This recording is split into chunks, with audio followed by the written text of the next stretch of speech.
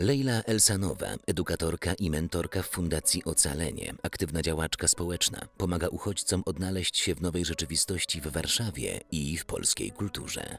W Polsce jestem od 2006 roku.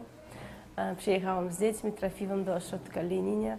A w Lininie były takie kursy zawodowe, można było e, chodzić na te kursy w ośrodku, tak i jeździć do Warszawy. Bardzo, bardzo polubiłam Warszawę, tak sobie marzyłam, że moje dzieci będą chodzić do, do szkoły, że ja tu zamieszkuję i udało się w końcu.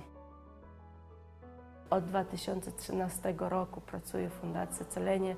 Akurat trafiłam tam, tam, gdzie bardzo chciałam. Widziałam takich e, twarzy smutne, takie, e, no widać człowiek e, potrzebuje jakiejś pomocy. I moja jedna znajoma zadzwoniła do mnie i powiedziała, że Leila jest taka praca, którą ty cały czas robisz, bardzo lubisz i robisz to za darmo, teraz będziesz mogła robić to w fundacji, gdzie pomagają bardzo dobrze uchodźcom, wszystkim, którzy potrzebują pomocy. Robi to, co teraz robi już 5 lat. Od razu, jak e, zaczęłam przyjeżdżać do Warszawy, e, zrozumiałam, że mm, dużo łatwiej i dużo spokojniej czuję się w Warszawie. Naprawdę tak zaprzyjaźniłam się.